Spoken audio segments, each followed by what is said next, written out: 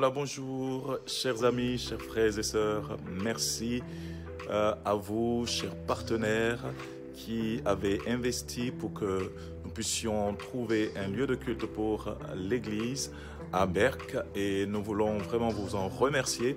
Là, je suis dans euh, les locaux, donc voilà, et je vais vous faire un petit tour euh, tout à l'heure pour vous montrer un peu les différents espaces et les différents aménagements. Donc euh, qu'il y a dans ce local. Voilà, il y a déjà un énorme travail de nettoyage qui a été abattu et pour cela, on veut en remercier tous les frères et sœurs qui se sont mobilisés et vous dire ben, bienvenue dans cette maison. Eh bien, chers amis, merci. On va vous faire une petite visite des locaux.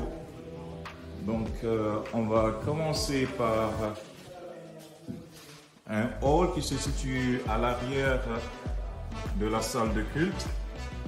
Donc ici, à ma droite, vous avez une salle d'environ 10 mètres carrés, donc qui pourrait servir éventuellement pour des enfants.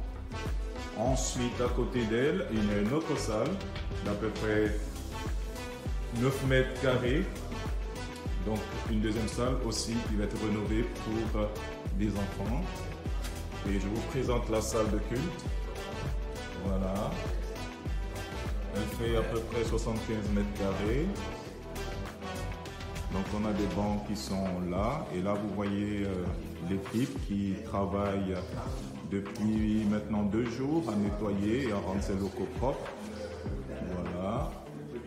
Vous avez voilà, l'estrade. Et là, on va dans le fond de la salle. Et euh, donc on arrive donc à l'entrée, donc côté rue. Donc je sors du temple et je vous présente donc voilà le temple depuis l'extérieur. Je vais traverser la rue de l'impératrice. Et là, depuis la rue, ben, je vous présente donc le temple vue de l'extérieur. Et je reviens, je passe par la porte de service. Et là, vous avez le couloir qui donne sur l'appartement. Ici, à ma droite, donc, on est dans le hall. Une fois qu'on entre, on franchit le seuil du temple. Donc, on a un petit hall qui est là. Donc, il va être aussi aménagé afin de le rendre encore plus fonctionnel.